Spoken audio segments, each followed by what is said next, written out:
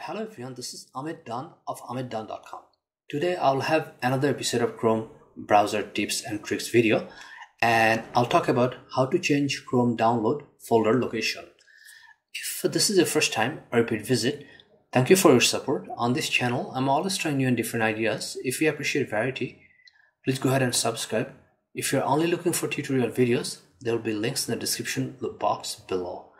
So if you're downloading something online or from a website, uh, and if your download folder location is not set to on desktop, it is going to get lost somewhere in between, uh, you know, files folders, and it's kind of a hassle that you know you're downloading, let's say, picture or music or video, and then you have to go through or look for it uh, for it each time. And today I'm going to show you how you can easily change the setting. So whenever you're downloading something, everything is going to be located on your desktop. So for example uh, let's say if this is your desktop uh, it's going to be somewhere right here or anywhere on the desktop and it's very easy to find. If you are set to uh, have anything on your desktop when you're downloading online.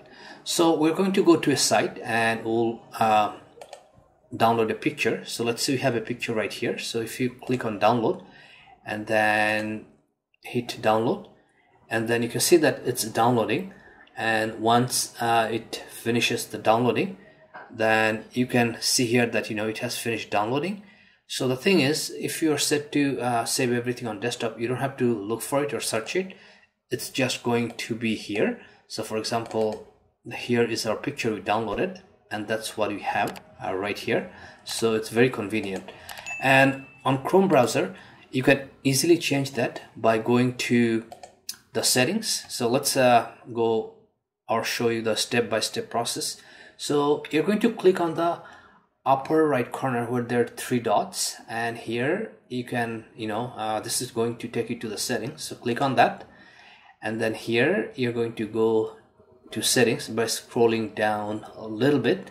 So click on settings and then here you're on a new page and you'll see some options on your left and here you're going to click on advanced and then if you click on advanced then you're going to see downloads.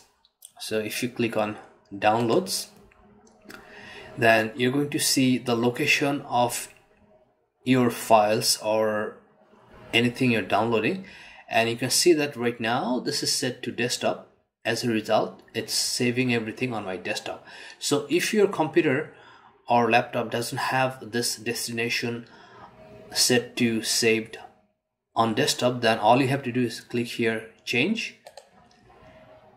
And then you can just you know uh, click desktop from here and then select you know desktop. And then if you just select folder and then it's going to be here desktop. For me it's already desktop but that's how you set it to save on desktop. Now this is just an additional uh, feature that if you check this on by sliding it to the right then what happens whenever you're downloading something each time it's going to ask where to save it so I didn't check it on because uh, you know I don't want to be bothered each time I'm, I'm downloading something because I know that it's going to be on my desktop and I can easily find there so that's how you set up your Chrome browser to save everything on your desktop Thank you for watching this video. There will be more videos coming up, so I'll see you shortly. Thank you.